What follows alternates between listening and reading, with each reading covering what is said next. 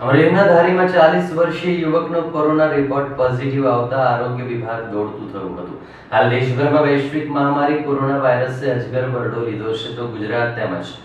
સૌરાષ્ટ્ર પણ તેમાંથી બાકાત રહ્યું નથી. તો વાત કરીએ અમરેલી જિલ્લાની, તો અમરેલી જિલ્લામાં પણ હાલ દિવસે ને દિવસે કોરોનાના પોઝિટિવ કેસનો આંક વધતો જાય છે. ત્યારે અમરેલી જિલ્લાના ધારીના ચાલીસ વર્ષીય યુવકની તબિયત નાદુરસ્ત રહેતા તેને રાજકોટ વધુ સારવાર માટે રિફર કરવામાં આવ્યો હતો, જેનો કોરોના રિપોર્ટ પોઝિટિવ આવતા ધારી શહેરમાં પોઝિટિવ કેસનો આંક ત્રણ પર પહોંચ્યો છે.